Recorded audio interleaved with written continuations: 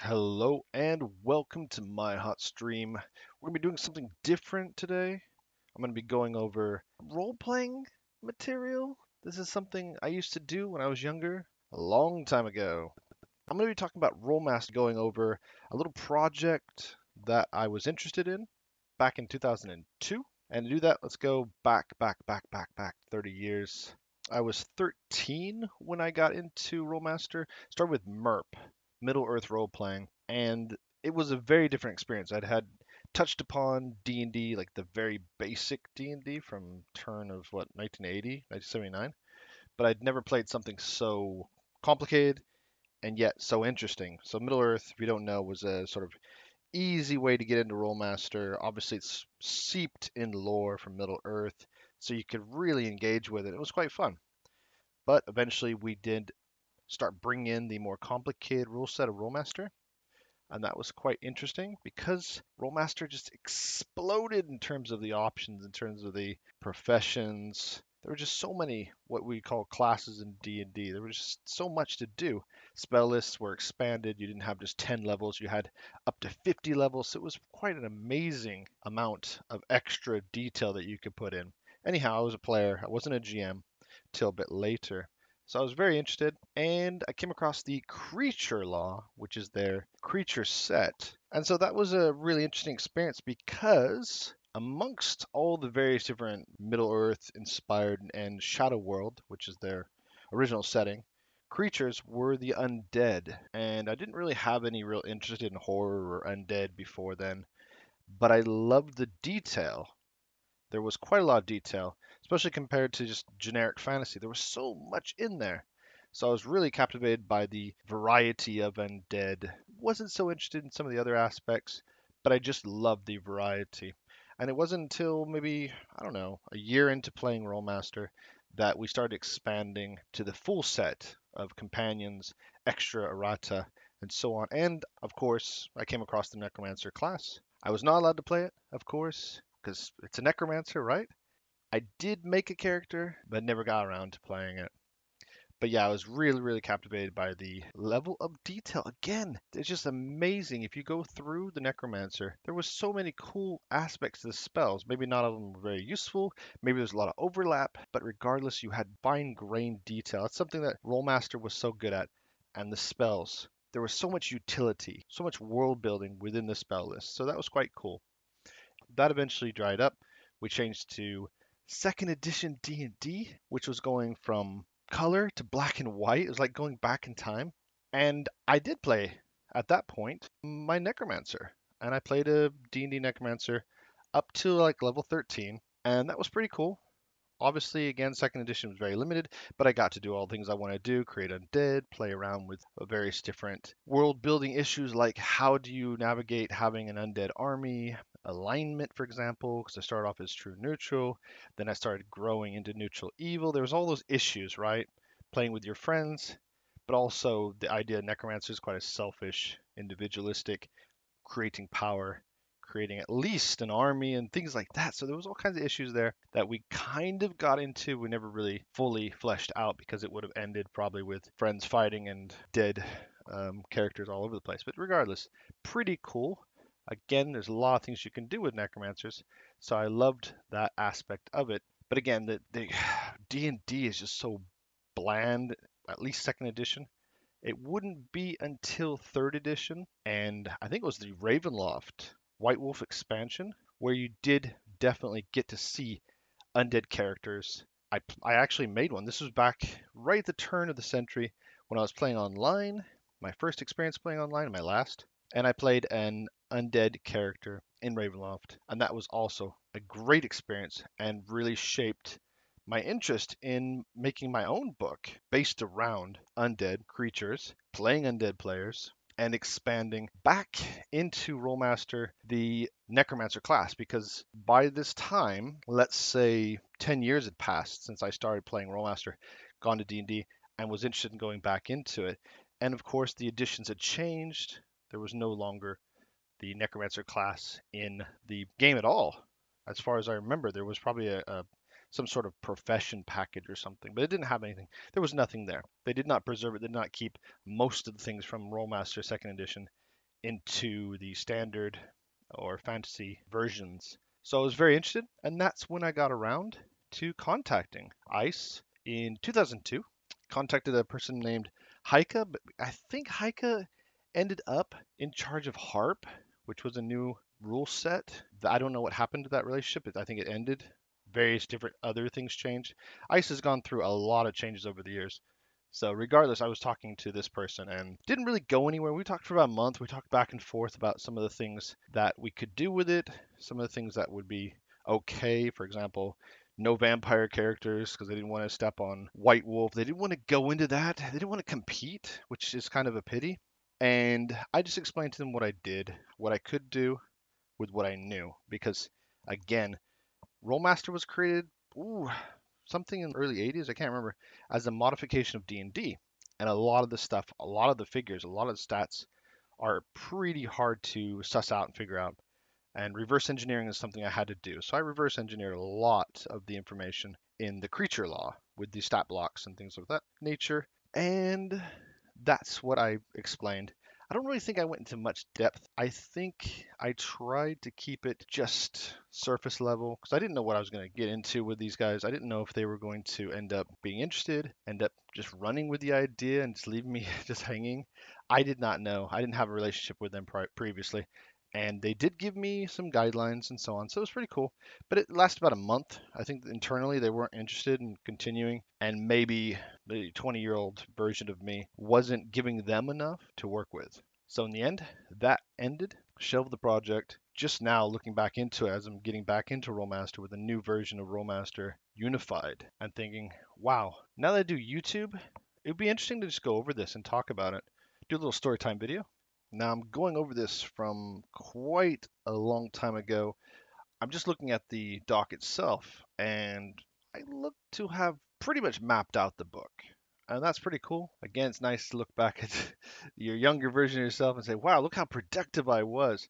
And so I really did go in deep. And now there have been many, many, many undead books in the last 20 odd years. We're going all the way back in D&D. I mean, I had the, complete book of Necromancers, which was a horrible book, but it did give you some insight, some ways of thinking, and how to deal with and develop necromancy and undead. Regardless, uh, in those years past, there have been plenty of D&D supplements in the various different versions, which have gone into undead. And that's something that sadly Rolemaster has not had been good at, which is keeping up with the times. And 3.5 D&D really expanded things in some ways worse, but they did allow for lots of character customization.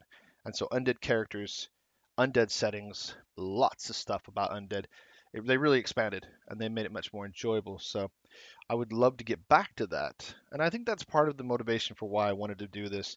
I wanted to see that in Rolemaster, and I still do. I don't know anything really has changed. I don't think anything has changed with Rolemaster Unified in terms of creatures, at least from what I've heard on the Discord, which is disappointing. That's neither here nor there, though. Let's talk about the book. And so I really did go through mapping the interesting aspects of playing undead. Obviously, the motivations, the problems, issues, dangers, etc and then I went through and developed the rule set. So the rule set was, like I said, reverse engineering, not so much the stat blocks, because we know how the stats kind of work. They're kind of fuzzy in the old version of Rolemaster, but the abilities. And so I broke down the abilities using, at that time, I think it was Rolemaster SS standard um, or fantasy version. They had something called Talent Law, which is a massive book full of options and talents and, and ways to build your character. But I kind of used it in the sense of a D&D perk system where you could build your character and make it a little bit more interesting. Because I think that's one of the things also that Rolemaster lacked. Abilities, just perks, talents. You made them at your character creation, that was it. D&D, no, of course, it's it's over the breadth of your character. It creates your class is sort of spread out, it makes it more interesting. Rolemaster is a skill-based thing. You just go level up, put some points in some skills. You don't, you know, you're a fighter. You're just boring. It's it's just hack and slash. You're not going to be doing like, hey, I've got this new ability which is like whirlwind kick or something. No, you don't have that, which is really disappointing. So what I did with the undead is just that. You have starting level one basic template, and then as you go, you would grow your undead and you had basically these perks that you could choose from. And so it's pretty cool going through and just seeing, wow, I've got, you know, interesting rotting undead, for example. You can play rotting undead. And here's how much it's going to cost if you want to play at, for example, second level. Here are all the abilities. And here's how much it's going to cost you, etc. So I had all kinds of ways of doing it. If you wanted to sort of get to playing a Lich, for example, well, then you're going to need to be 20th level to have the full package of what Lich powers were there and available. So it was quite interesting to just to build that. If you wanted to play, for example, I don't know, a vampire, then you're going to need to be, again, level 20 to get the full. But you could sort of build your character up. You could start at the base and build your character up and get abilities here, there, and everywhere. Start with all the weaknesses, build what you can with them.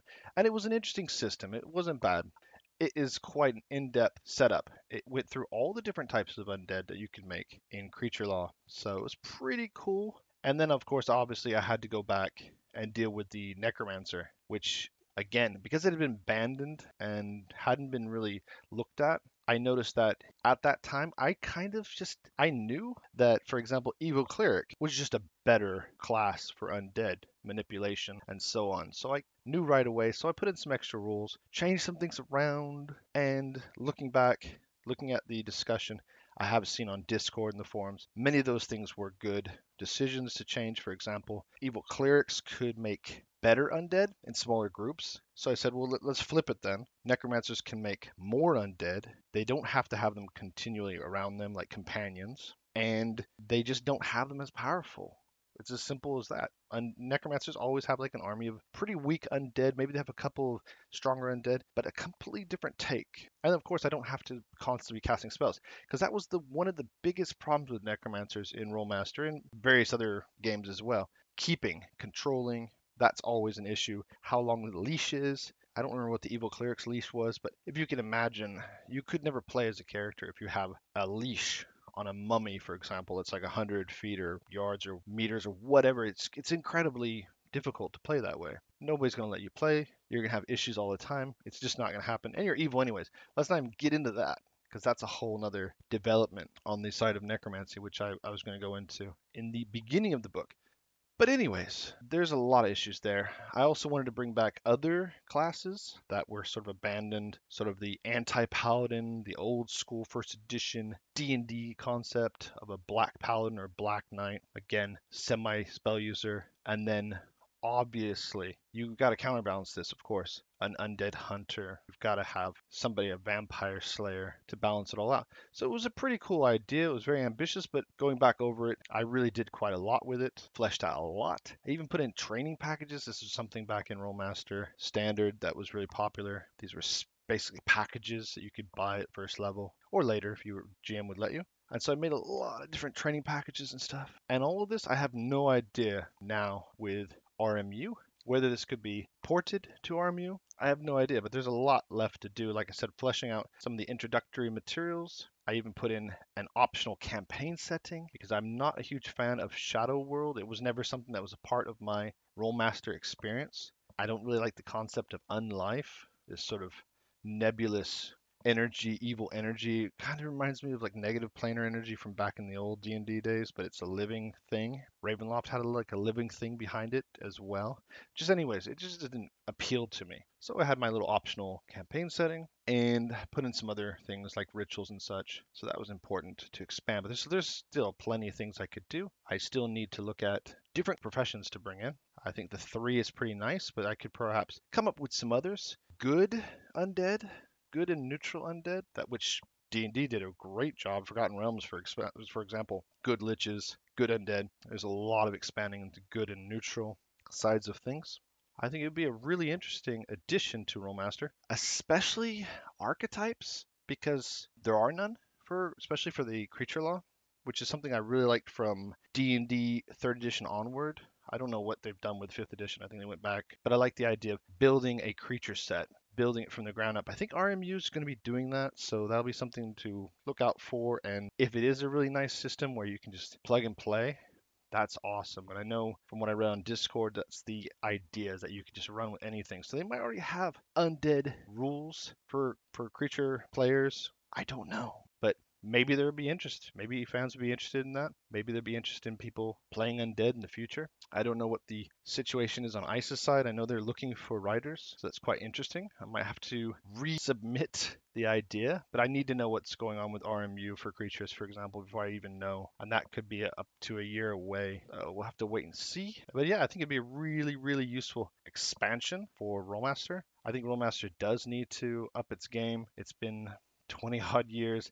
The unified system sounds a lot like going back to basics, but yeah, they've got to make their mm. professions more interesting, abilities, talents more interesting. Just, just again, they've got to compete with D and D, which is a bit more flashier. They need a flashier game. Critical tables are not enough. You need to have back to the original multitude of options. What really got me, just the expansiveness of it. I know that's a crazy difficult thing to balance. It's hard for players to get their heads around how many, you know, optional rules expanded professions, more creatures, but we want that. We want more.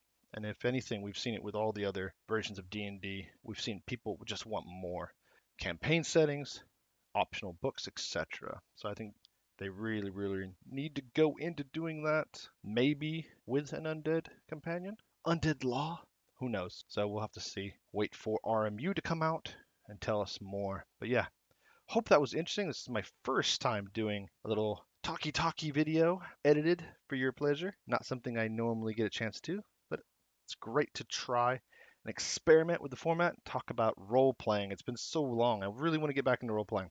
If anything, I would love to be GMing again, but the nature of online is so difficult. It's hard to find people. So yeah, one of these days I might actually get around to it. If I did write RM companion, Rolemaster companion, an undead companion, I would need to test it out as well. So that'd be something great to do.